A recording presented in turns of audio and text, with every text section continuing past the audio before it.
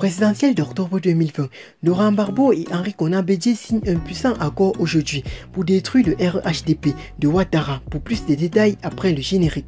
Mais tout d'abord, avant de débuter, abonnez-vous juste à la chaîne en activant la cloche de notification pour ne plus rater à nos prochaines vidéos. C'est parti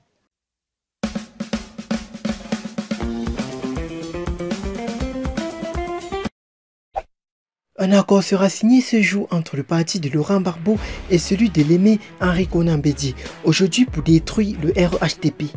Vers fin juillet 2019, le président Laurent Barbeau, président du Front populaire ivoirien en abrégé FPI, le président politique de la plateforme Ensemble pour la démocratie et la souveraineté en abrégé EDS, et le président Aimé Henri Conan Bédier, président du Parti démocratique de Côte d'Ivoire, PDCI-REDA, se sont rencontrés en Belgique, précisément à Bruxelles, où réside le premier cité après sa libération conditionnelle.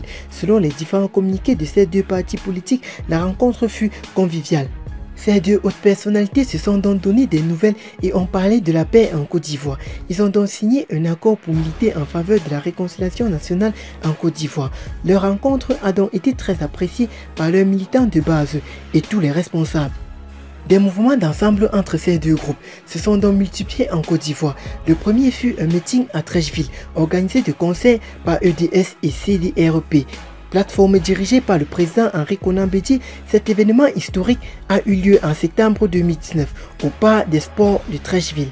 Disons que c'était pour la première fois depuis la création de ces deux partis politiques, traditionnellement opposants, qu'il y a eu un tel acte politique. Le second fut à en mars 2019. Aujourd'hui, le FPI et le PDCI-RODA, plus que jamais unis et plus que jamais déterminés la paix et la réconciliation nationale vont signer un accord aujourd'hui au siège du PDCI REDA.